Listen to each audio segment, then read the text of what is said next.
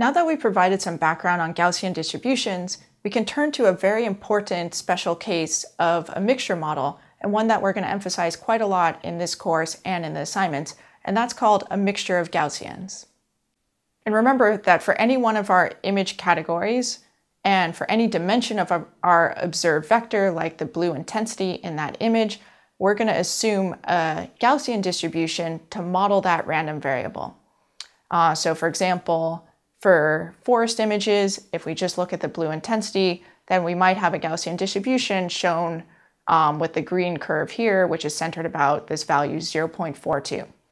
And I want to mention here that um, we're actually assuming a Gaussian for the entire three-dimensional vector RGB, and that Gaussian can have correlation structure, and it will have correlation structure between these different intensities because the amount of RGB in an image tends not to be independent, um, especially within a given image class.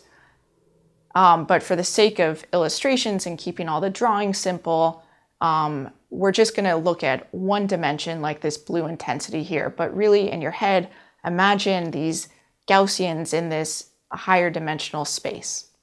Okay, but just to go back to what we were saying, we have a Gaussian per category, um, forest, sunsets, and clouds.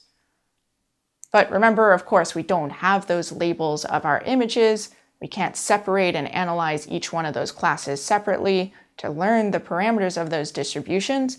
Instead, what we have is this pretty nasty um, space of intensities mixed over all these different images. So again, if we just look at the slice along the blue intensity value, then maybe our histogram would look like this three hump distribution that we showed before.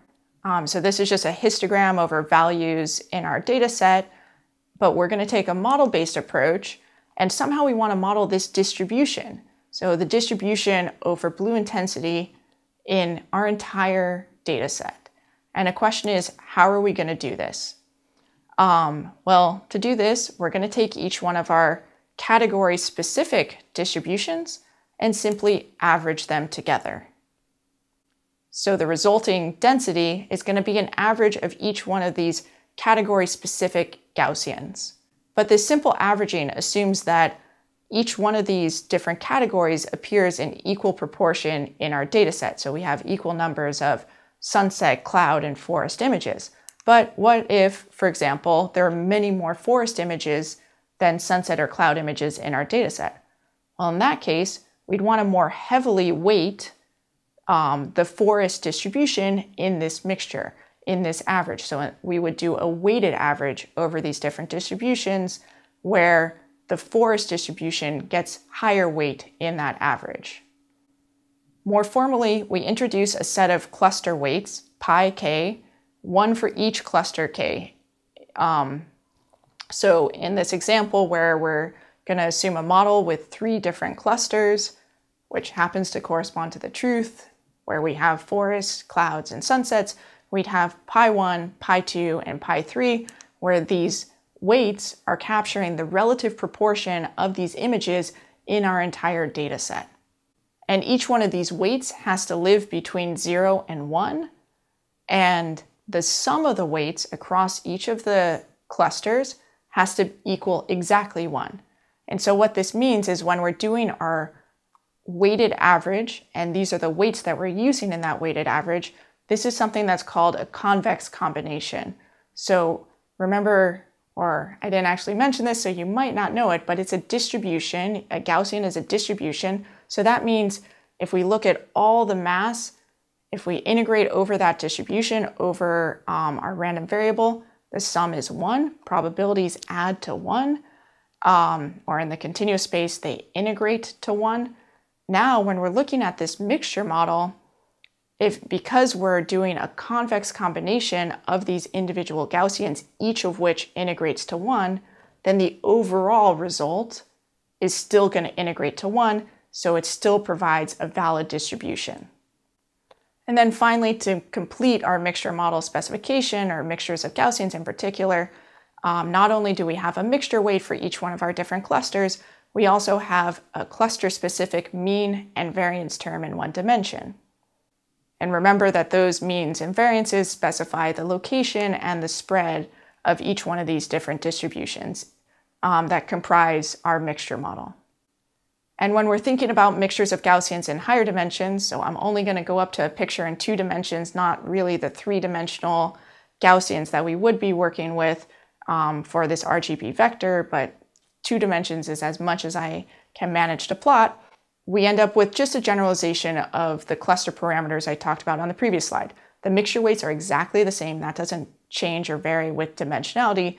But now instead of just a mean and a scalar variance, we have a mean vector and covariance matrix for each one of these Gaussians. So remember these means and covariances specify not only the location, but also the shape and the orientation of these different ellipses. And then when we're thinking about the mixture weights, it's pretty hard to annotate on these types of contour plots. Just think of taking each one of these distributions, which are shown in these green, um, fuchsia, and blue colors, and then weighting them. And this weight, pi k, is coming out of the board, out of the slide here. Um, and that represents how much we're emphasizing each one of these different mixture components in the overall mixture. And when we're thinking about using mixture models to do clustering, um, note that they can also be used just to do what's called density estimation, so estimate those types of curves over the histograms that, that we drew earlier. But in our case, we're going to focus in on the clustering application. And there, there's a really important other variable that we're going to introduce, and that is the cluster indicator, the assignment variable for every one of our observations. So we have, this is the cluster assignment for observation xi. So this is exactly the same variable that we had in k-means that was assigning observations to clusters, um, but in that case, just using the cluster center. Okay, so let's step back and think about what our model is saying. And the first question we can think about is, what's the probability that the ith data point in our data set is associated with the kth cluster? So for example, when we're talking about our images, we could say, what's the probability that the ith image I see is, let's say, in the cluster of clouds images. And let's talk about this before we've actually observed what the image is. All we know is it's the ith index in our data set.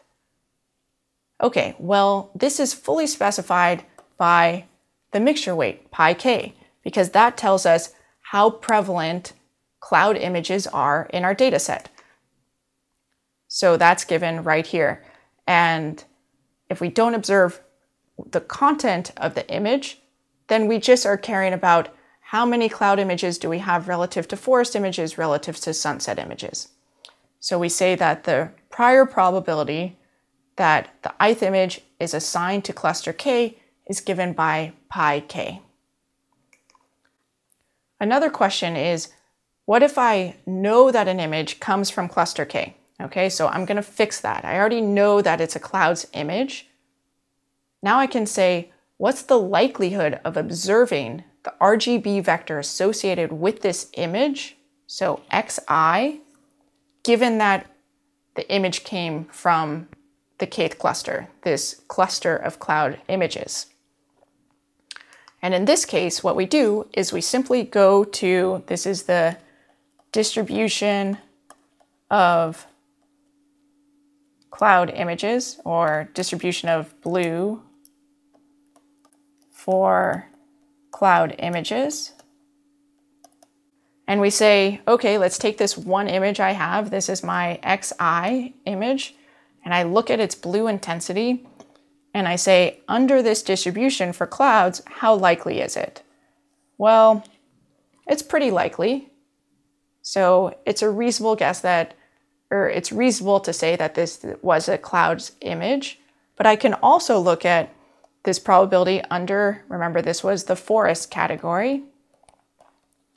And I could say, well, what's the likelihood of this image under the forest category? Well, it's not that high. But on the other hand, what we know is that there are many more forest images in our data set than cloud images.